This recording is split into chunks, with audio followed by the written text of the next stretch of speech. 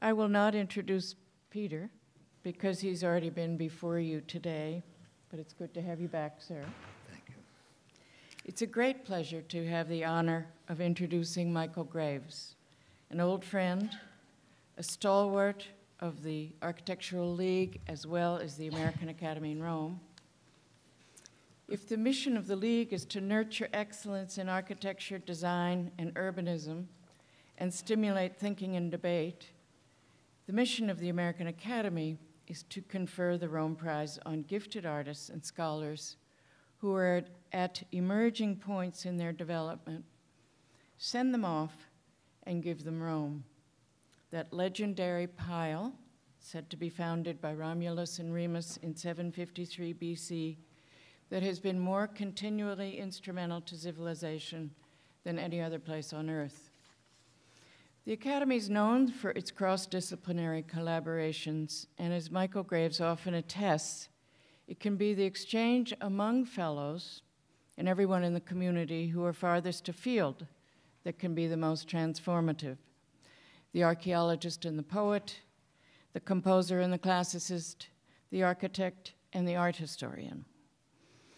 On the question of Princeton President Robert Goheen making time to meet with Eisenman Graves, I would speculate it was because he was himself a Rome Prize winner many years before Michael, and he was probably dying to meet Michael. Those around Michael as he was growing up in Indiana recognized early on that he was remarkable. At architecture school at the University of Cincinnati, then at the Harvard GSD, and then in Rome, when he won the Rome Prize in 1960. And it was then that he became a marked man. Marked by a new love of Italy, marked by an expansion of himself that would lead him in many unexpected directions, and marked by his discovery that it is important to live with artists and scholars if one is to develop the skills, learn the history, participate in the discourse, that hone the habits and intelligence that are necessary to solve the world's problems during one's own time. He left Rome in 1962 and joined the faculty at Princeton, where he remained for 39 years, and now serves as the Robert Schirmer Professor of Architecture Emeritus. In 1964, he established his architectural office, and in 1970, he won the first of countless design awards that continue to this day. By then, his drawings had become legendary and sought after.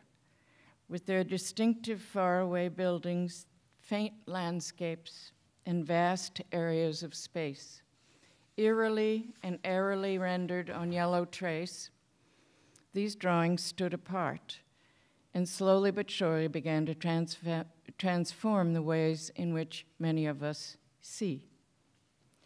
By the 1970s, Graves's architecture too had taken on the unique qualities for which he has now long been known. Although every one of his 350 buildings worldwide has its own integrity, it is also true that his hand is instantly recognizable, whether it be at the Portland Building, the scaffolding for the Washington Monument, the Ministry of Health and Sport in The Hague, or the tea kettle. While we have lost count of the awards Michael and his firms have won, mention must be made of the American Institute of Architects Gold Medal, the National Medal of Arts from the President, the Richard H. Driehaus Award, the Topaz Award Medallion, and the Gra Michael Graves School of Architecture, which is taking shape in two locations in Wenzhou, China, and at Kean University in New Jersey. And he was the first architect ever to be inducted into the New Jersey Hall of Fame. Think of that.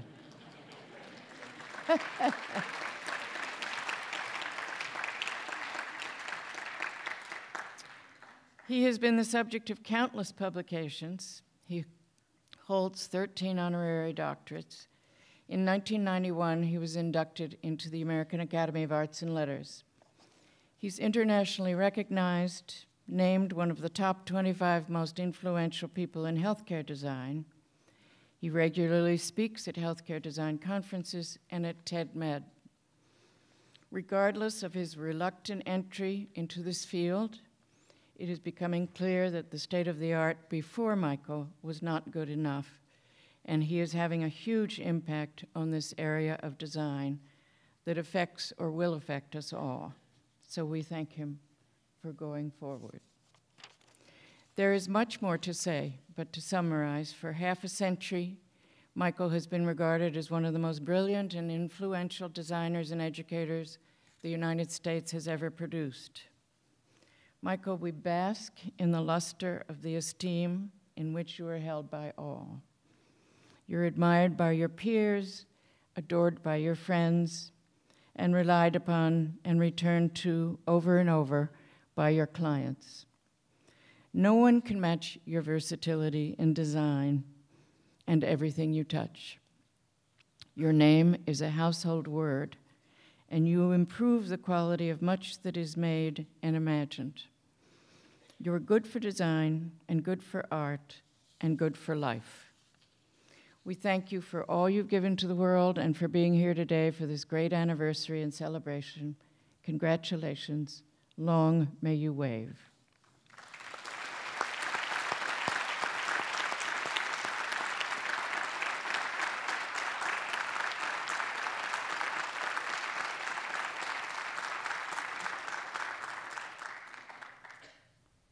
Well, I take it Harvard won.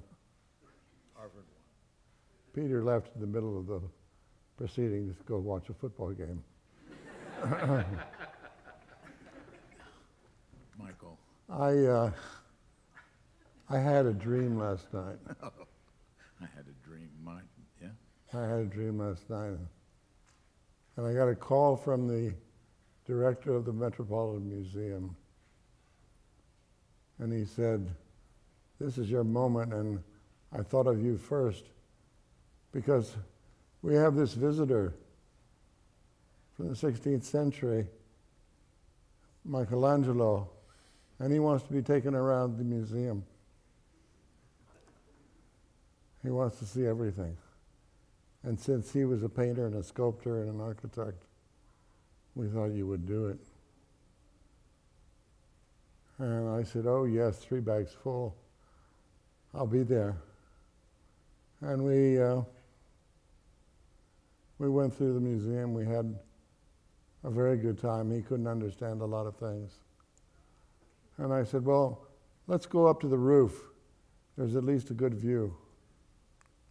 We got to the view, we got to the roof. The view was there, but there was this shiny object rabbit.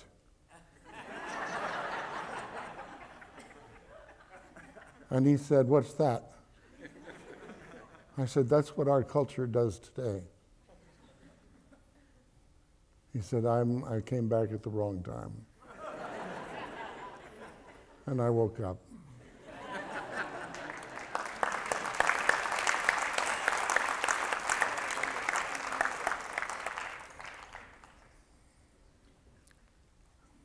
Um, I feel like I've gone to the wrong parade.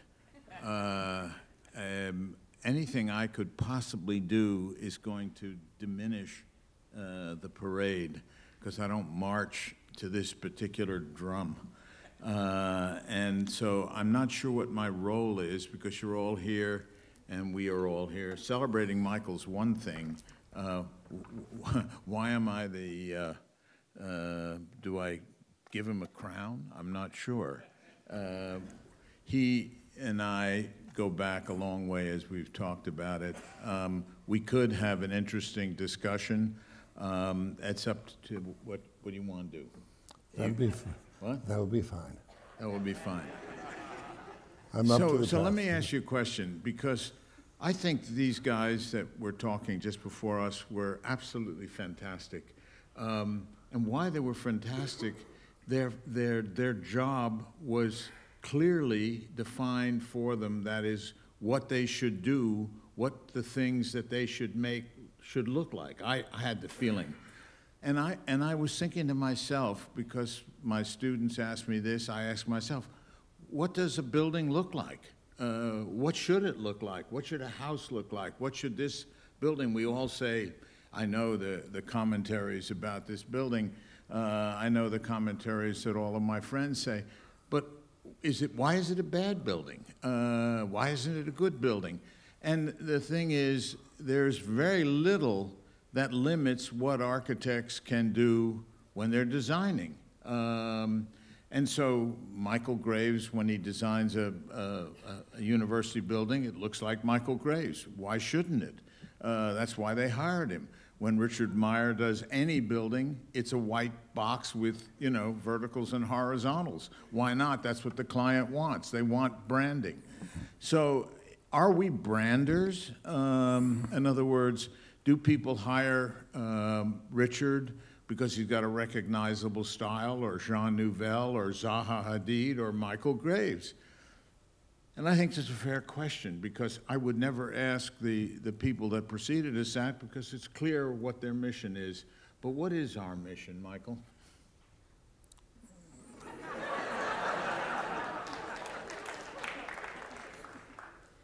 Talk about another parade. Hey, you, you got me here. You know, I'm, I'm trying to find Well, out what Jean the music is. Nouvel, Jean Nouvel and Zaha Hadid and Rem Koolhaas have their phones ringing all the time. Would you do this for us? For what reason? To keep ahead of Frank.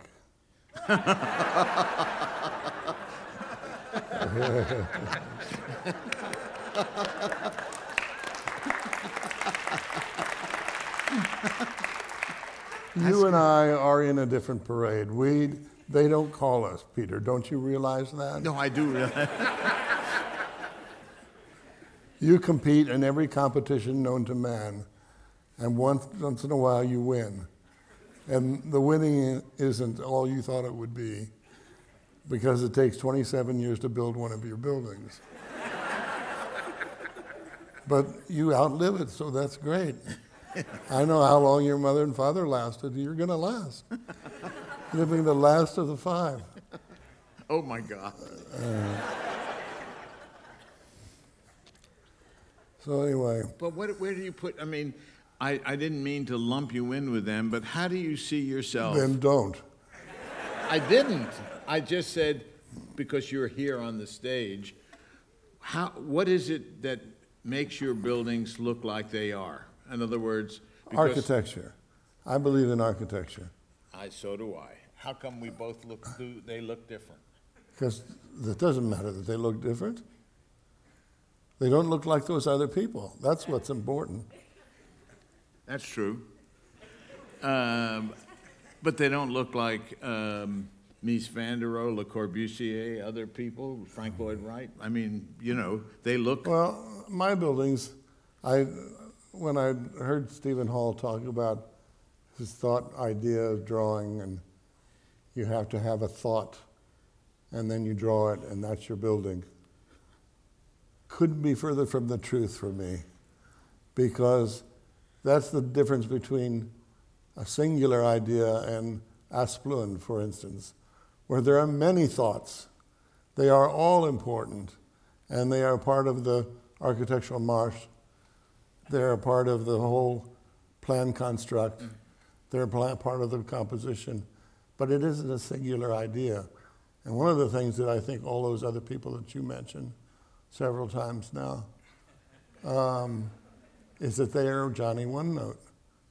They are like we heard what, what uh, architects did in South America one line and that's it. That's not a building, for Christ's sake. That's a line. It's a squiggly line. It doesn't stand for a building. That's a joke. So don't be taken in. Well, the, the question is then, if that's the case, if there is this distinction between Zaha, Rem, et cetera, what is it that gives your buildings the design, what, what, uh, say, is behind what a building that you do looks like? Let me go the other way around. Okay, Rem made a building And if we had little blocks here, we could do it.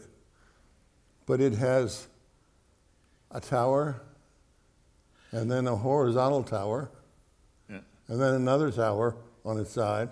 It Finally comes back, back down to the ground where there's a tower on the ground. Mm-hmm. And nobody said, why? What the fuck is that about? Where's the door? What are you doing, man? Are you high? And the magazines publish it like it was heaven on earth. You know, some, some, when Frank farts, they write an article. the gastronomic condition of Gehry. Oh, you've been waiting all day. I can tell.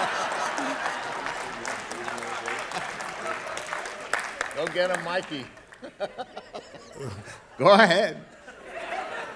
You know what? In five. My buildings have the other half of that. my buildings have a foot and have a discernible door or more. It has windows to look out of. Thank you very much, Cooper Union. Um, well, you make a school of architecture with no windows, you're going to get it from me. Uh, but it's got a roof, it's got rooms. It doesn't have just space. It's got rooms. It's got places to be.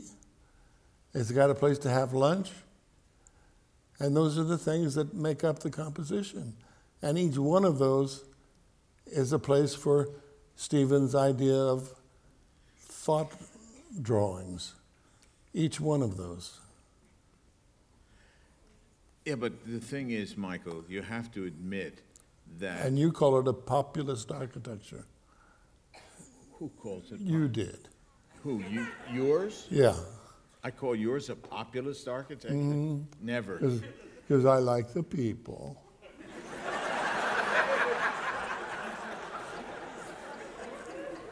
I don't, I, I, you, you can't quote, you can't misquote me, Michael. I mean, you can, I I've, I've said. waited a long time for that one. Um, yeah, well, we don't want to do that sort of thing. I mean, I've never called you a populist. That, that's, Oh, that's good. Ah, thank you. okay, We erased that one. okay. You got a few more? No?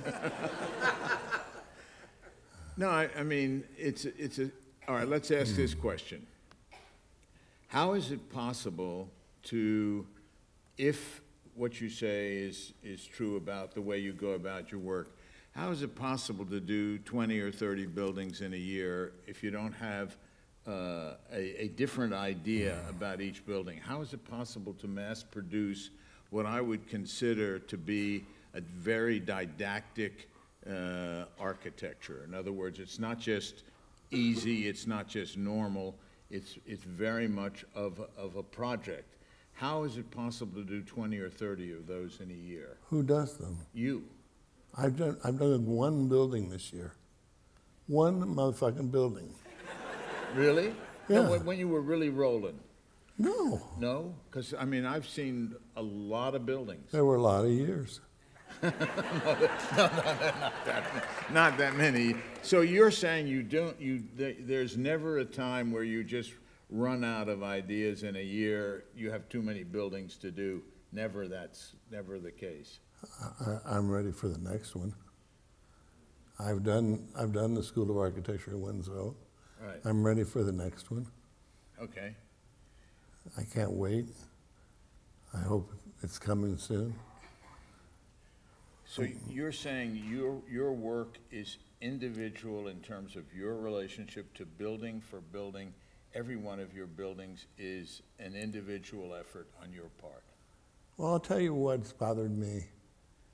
We're done, we've done this master plan for Wenzhou, Okay, and I did the School of Architecture, and it looked for a moment like they were going to fire the the uh, architects in charge who had won the competition, the Design Institute, as they are called in in China, And then we were going to get to design all the buildings. And I thought to myself, how is that going to be possible? I'm going to give them away. I'm going to give Peter one, and I'm going to give X1 and Y1 and Z1, and some young ones that people don't know about Frank Martinez. I'll give one to.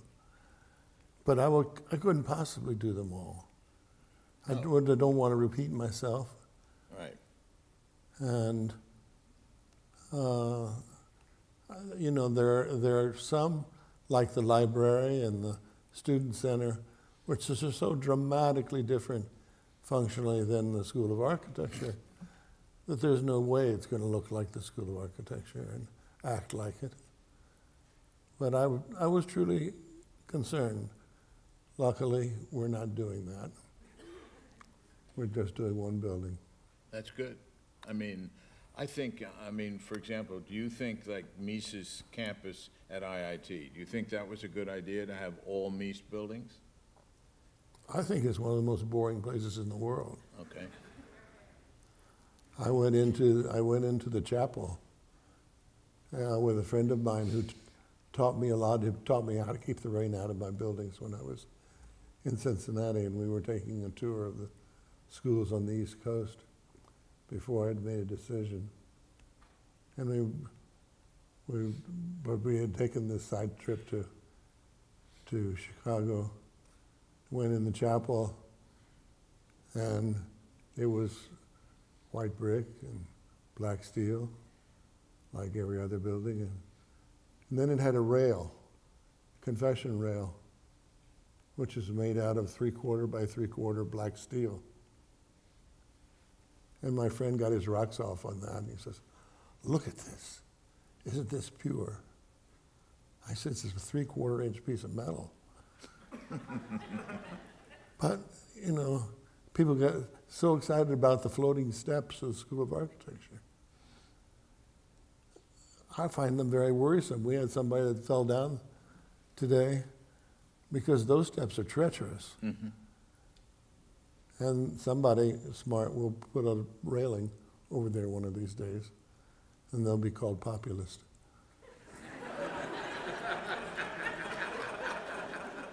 Somebody else.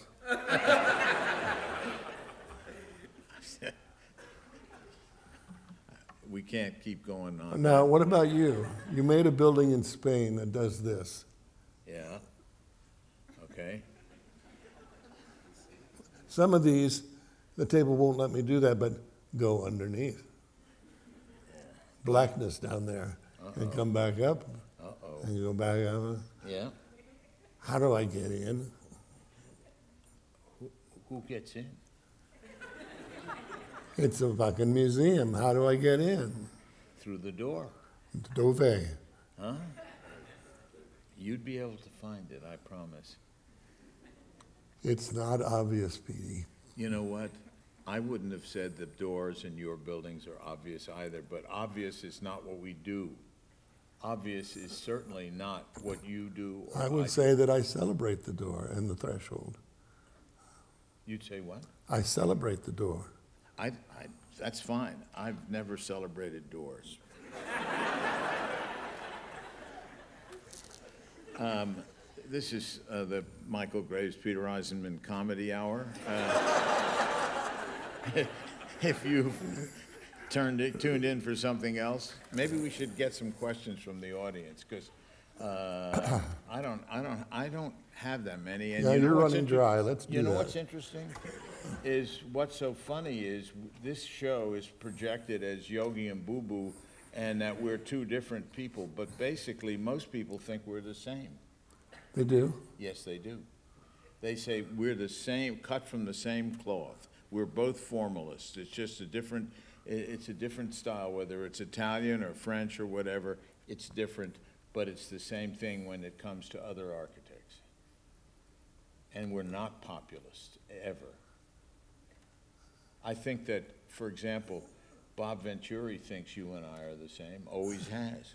Well, he's a formalist. Yeah, yeah, but of a different sort, right? Of a different sort, but he's a formalist. Yeah, Michelangelo's a formalist. yeah. Bernini, Borromini, right? All the people we teach. right? Right. Anyway, maybe we should get, I'm just saying is, we don't disagree about many things, uh, except populism, I guess. Uh, Are there any questions? Because you guys probably have better questions than, I've been asking him the same questions forever. And it's his day.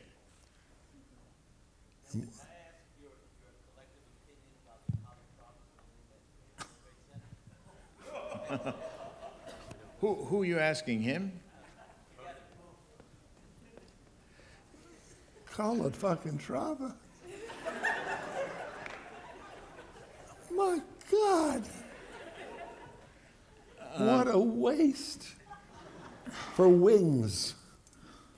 I will make wings for you, in this, this station, this, this uh, subway station will cost $4 billion.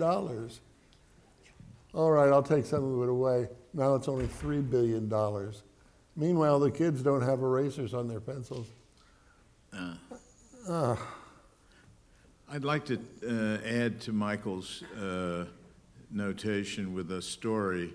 When Calatrava came to Yale, he was paid an inordinate amount of money. I don't know what it was, but I could speculate far more than Michael and I and others uh, uh, charge. He got up after a long introduction and he said, um, I'm going to draw. Uh, and we said, wonderful. And he had a, uh, a camera over a drawing board, uh, which was on a lectern. And he turned on some music. He didn't say a word. I mean, he does speak English. And he drew uh, not very pleasant drawings necessarily uh, for a whole hour, turned the music off, stopped, and walked off the stage. Um, I, I would have thought that. Such a bore. It's, it's the height of arrogance. I, I couldn't believe somebody, we were sitting there watching him draw, with music, of course. So that's my feeling about Calatrava. I don't need to say anything more. Any other questions? We, we, for whoever that was that, whomever that was that asked the question, we don't learn from Calatra- Calatrava. He just was said brilliantly this morning, we learn from precedents, and that's not a precedent we use. We meaning architects generally. And here. Yeah, there's a question. Michael, could you tell us a little bit about your healthcare design? Sure. Uh, we started a few years ago with a company that that asked us to do their whole catalog, and we started. And very quickly, we realized that what they wanted for us to do was sort of freshen everything. That's a that's a line that they gave us: freshen this, and put on new clothes and that sort of thing. And then they would send it to China, and it would come back about three quarters right, and then say, "It's ready for it's it's we're going to that's a production model. We're going into production now." And we'll say, "No, it's not right. It doesn't work." And they said, "No, that's as much time as you get on that. On to the next." So we let that contract expire. So you don't think everything is rosy. Then, when, then we made a deal with Stryker, who are just terrific.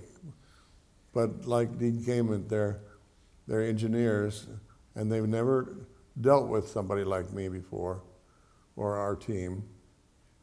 So it was difficult at the beginning, but we had Ron Johnson who was standing up over our shoulders saying, No, let the Graves team do this. Uh, and so what we have done is made a series of pieces of furniture, uh, ending currently, though there's another project in the wings, uh, currently with a transfer chair. Now, a transfer chair is one that the orderly or the clinician will use to take you from your bed to radiology, let's say. and you might sit there for an hour. And right now, you sit on an X-frame base uh, with a black leatherette uh, seat designed in 1933. And it's highly uncomfortable. And if you've got a spinal problem like I do, it's not where you want to be. So we thought, well, if Charles Eames could make a modern chair comfortable, so can we. And so we did, and we put it on the, on this transfer chair. And the transfer chair does a lot of things. It gets the uh, arms out of the way. It lifts them up. It throws them back so you can transfer side to side and all of that. And then we were lucky to get a hospital to do in, in, in Nebraska. And uh, this Omaha facility is, is run by the uh, Catholic Church. And we thought we were going to do the most exquisite uh, uh, patient room known to men and make a little alcove where mom and dad, so much of it's pediatric, mom and dad can stay over during the night and have their own bed. But given the defense budget um, that Dean mentioned before, there wasn't enough money to do that, so we've slimmed down the, the whole thing and come back to reality and have done our version of a very good room. Uh, the only one thing to do is the headboard with all the mechanical stuff in it. And we will do that. But again, you have to have a contract with somebody who does those kinds of things. So you just don't go out willy-nilly and design one and hope you can get it built. You can't. You have to, you have to go to the source where, where that, that sort of thing is done. But I don't want to bore Peter with this, but, but we're happy that uh, Madonna in Omaha is, has hired us, and we've done a little bit for Yale New Haven um, uh, Healthcare, and it looks like we're going to do a little bit more for them. So little by little, we're creeping in, but we'll never reach the, the place where the three-letter firms are. Um, and do, you know, 20 or 30 hospitals around the world every year, having never been in a wheelchair before in their lives. I always have a kind of one up because, for instance, when I went for the interview for the Wounded Warrior houses, I was the only, I thought I was the only one that rolled in in a wheelchair, and I thought to myself, we got this one. They'll take pity. And we did get it, but then I went to a conference in Chicago, and a fellow in a wheelchair came up and said, I'm an architect. You beat me out for wounded warriors. So we, we, I felt we were really lucky that, that we got to do that. But we did two, and they were to do 20 more around the base. Um, and, and then the Air Force called and said, we like your idea. We want to, we want to start with a dozen. So we did them, and, and they said, but they cost more than ordinary houses. I said, yes, they do. They've got a lot more stuff going on in them. Oh, we, don't, we can't do that. They're going to be just like everybody else. I said, well, then a wheelchair won't be able to turn around in the corridor. Well, that's their problem. So the Air Force said, no, we'll spend it on an airplane. We, we're not going to spend it on uh, a good, good house for the people to come back. These guys come back for two years. They re-up, um, no limbs, and they work at desk jobs because there's no work. They can't get work out on the street. The brilliant John Boehner will have seen to that. And um, so you don't even know who John Boehner is. Why do I waste my time? Any, anyway, um, so no votes are taken and no money is expended. and we don't, we don't take care of them. So it's up to people like, well, we worked with Clark Realty, and they spent the money to make sure that the house was zoned for somebody like a paraplegic, where a, where a room is 72, uh, the paraplegic thinks it's about 96. And where a, a, a room is 65, a paraplegic thinks it's freezing because there's no, there's the circulation in your body that you want. So all those things cost money. So it isn't the architecture that costs the money. It's the equipment, and unless you want to do it, have the will to do it, and they don't, the government doesn't have the will. So we sit here talking about architecture and without the will to get on with it and make life better for all, all of you. All of you will be in walkers and canes and contraptions in like 10, 20 years. I mean, the ones that are, are getting on, not the kids. But Question. May I ask, um, what perhaps should be the last um, question? We're sitting here in a, um, in a university and in a school of architecture, and one thing that, though we talked about architectural pedagogy this morning, we, I know that I don't know anything about your own education at Cincinnati and at Harvard and what led you to love architecture so much. And I wonder if you would talk about that and the teachers that you had, and, and then what your hopes are for the Michael, Ca- Michael Graves School of Architecture. Yeah. well, as quickly as I can, I wasn't educated. Um, my architecture class was a design class, and I used design in the pejorative, in that we learned how to align things. We learned, we learned Mies van der Rohe at Cincinnati, and we learned Le Corbusier at Harvard. And I had Giedion for history and theory, and nothing could have been worse. We looked, we looked at a little new town called Vällingby in Sweden. That's as close as we got to Palladio. So I came out of school not knowing jack about architecture. To think of what kids get at Yale and, and other places, not Princeton now. Princeton's finished for the next 20 years. Um, but certainly at Yale and other places where they're trying to do something.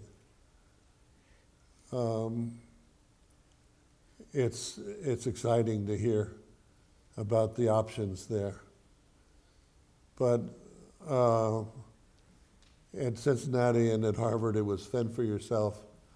I could tell you a story where we were given a, a concert hall to design in Jose Luis Sert's class. We called him Teeny Weeny Deeny. Um, and we all sat at high tables on stools like Bobby Cratchit. And, and uh, he came by after a party in Cambridge, one or two o'clock in the morning, and he came up to my desk and put his chin on my, on my board. and I was,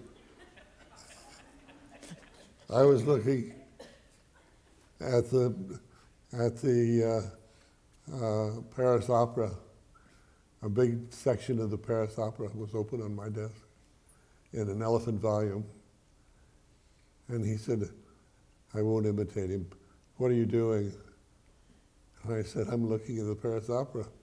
I want to see how the architect dealt with the seating and the sidelines and so on, and the architecture. And with all his strength, he took both sides of the book, closed it. He said, You won't need that here at Harvard. he said, Gropius and I, Gropius and I are on the same page. He didn't say that, that's today's lingo. on the same page, no history. So that's what you were up against. It wasn't just no history, it was anti history. So when I got to Rome, uh, I sat at the table of 25 people, and they were scholars of various sorts, brilliant types. In fact, one of them was named Brilliant. And, and they would talk about their research for the day in their little offices, their studios. And I looked at my then wife and said, These people know what they're talking about. They know their craft. They really are smart. And she nudged me and she said, Don't say anything.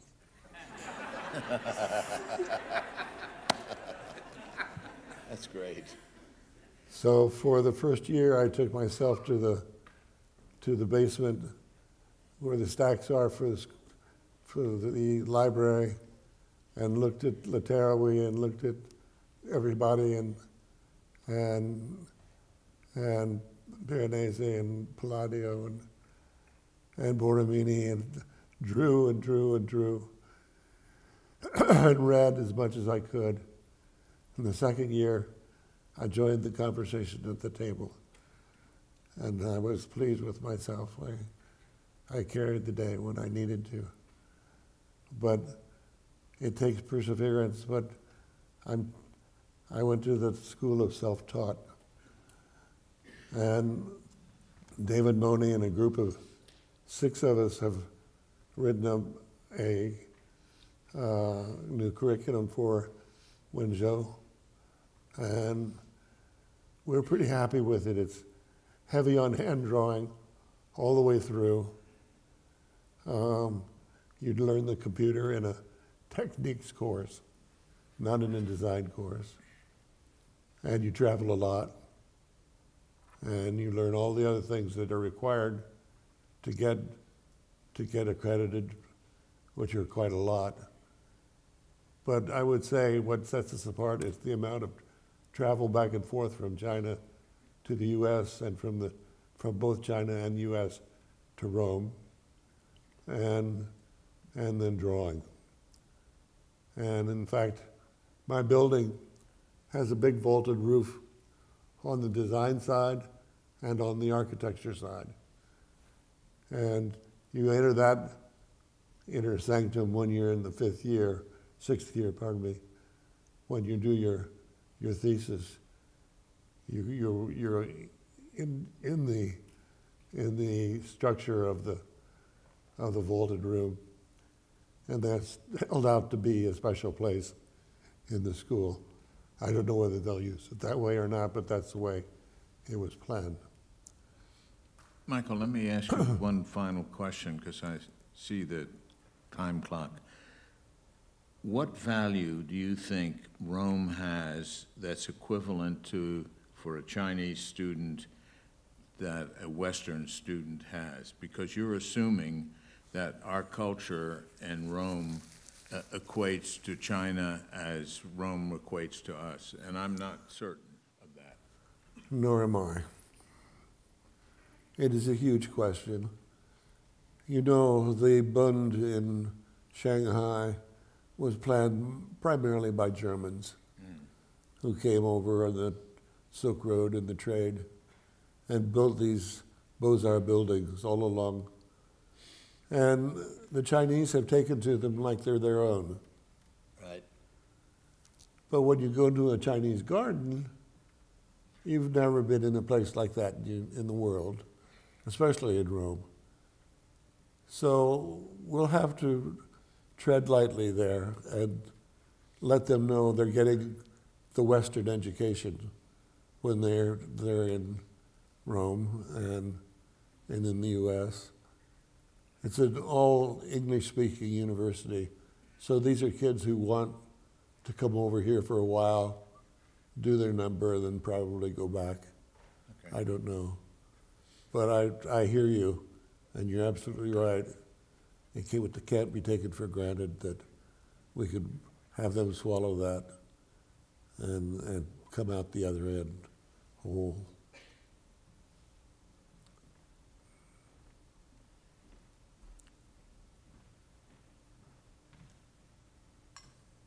Thank you, thank you, Michael, Peter. Um, And also special acknowledgement to Rosalie Genevro and Anne Rieselbach for the incredible work they made, they did to make this amazing day happen. Um, When we began this morning, I said it was going to be a time where we would be celebrating and thinking. And indeed, we spent the whole day celebrating thinking. And now I'm thinking we should be celebrating. So we will celebrate this amazing man, his past work, the future work, and please join us upstairs on the fifth floor.